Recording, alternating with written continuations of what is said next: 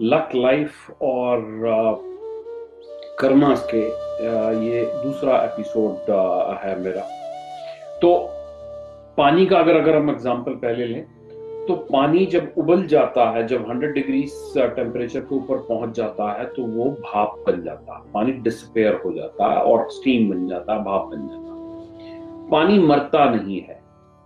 पानी स्टीम बन जाता है ट्रांसफॉर्मेशन हो जाती है।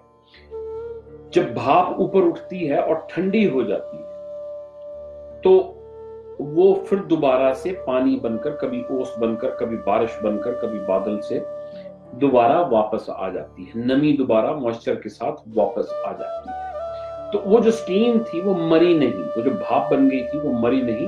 वो दोबारा से ट्रांसफॉर्म हो गई। यही मॉइस्चर अगर ज़ीरो डिग्री या उससे नीचे चला जाता तो आइस बन जाती है। वो फिर जाकर गैदर हो जाती है हिल्स वगैरह में, या हिल्स के ऊपर। मरती नहीं है। वो हिल भी किसी ना किसी दिन, वो बर्फ़ भी किसी ना किसी दिन पिघलती है और फिर दोबारा से पानी हो जाती है। तो पानी बन गया स्टीम बन गई, बर्फ़ बन गया। पानी का स्वरूप पानी ही रहा। पानी कभी प्लास्टिक नहीं हुआ, पानी कभी लकड़ी नहीं हुआ, मरा नहीं। मरने जैसी कोई चीज़ है नहीं। कि मौत नाम की कोई चीज़ है नहीं।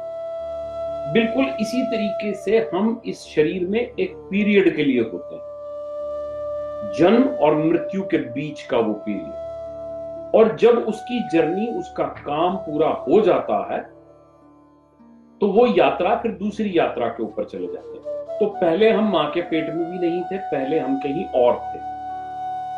वहाँ से आए, वहाँ की जर्नी खत्म हो गई, हम माँ के पेट में आए। माँ के पेट की जर्नी खत्म हो गई अब हम इस संसार में आ गए। अब हम इस संसार की जर्नी खत्म हो जाएगी तो फिर हम कभी कहीं आगे चले जाएँगे। ये जो जीवन मिला है हमें, इसका पर्पस क्या है? हम पैदा क्यों होते हैं? मैं क्यों पैदा हुआ हूँ? आप क्यों पैदा हुए हैं? कोई भी इंसान पैदा क्या होता? है क्या हम इसलिए पैदा हुए हैं कि मॉडगेज पे करें, खाना खाएँ कपड़े पहने पैदा हो जाए, स्कूल जाए कॉलेज जाए, उसके बाद नौकरियाँ करें, शादी कर लें, और बच्चे पैदा करें। और फिर बच्चों की शादी करके एक दिन जब हमारा, हम पहले बीमार पड़ जाए, फिर बीमार होने के बाद मृत्यु को प्राप्त हो जाए, और उसके बाद क्या यही जीवन चक्र है? क्या यही पर्पज है हमारा?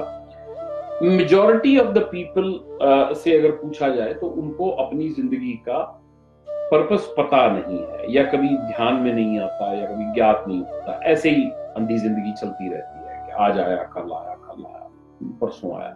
इसके बारे में हम, अगर लाइक कल बात करेंगे इसके थर्ड एपिसोड में, पर मेन बात समझने की क्या है? मैं ये शरीर नहीं हूँ, मैं तब आया था जब ये शरीर नहीं था। मैंने इस शरीर का निर्माण किया। जी हाँ, मैंने इस शरीर का निर्माण किया और मैं ही इस शरीर का निर्माण दोबारा भी कर सकता हूँ और मैं इस शरीर को रिपेयर भी कर सकता हूँ। तो जब मैं पैदा हुआ था, तब भी मैं था, आज भी मैं हूँ। बढ़ क्या रहा है? शरीर बढ़ रहा है। टूट क्या रहा है? शरीर टूट रहा है। बूढ़ा क्या हो रहा है? जवान क्या हुआ? शरीर हुआ। बूढ़ा क्या हो रहा है? शरीर हुआ। शरीर हो रहा है। मर कौन जाएगा? शरीर मर जाएगा। मैं नहीं मरने वाला। क्योंकि मैं तो पैदा होने से पहले भी था। मैं इस शरीर से पहले भी था। तो ये जर्नी चलती रहेगी। इसके बारे में अगर आप लोगों का कोई क्वेश्चन हो या कुछ कंफ्यूजन हो या हो सकता है कि शायद मैं ना क्लियर कर पाया हूँ तो मुझे ज़रूर आप कमेंट छोड़ सकते हैं। मैं आंसर देने की पूरी कोशिश करूँगा।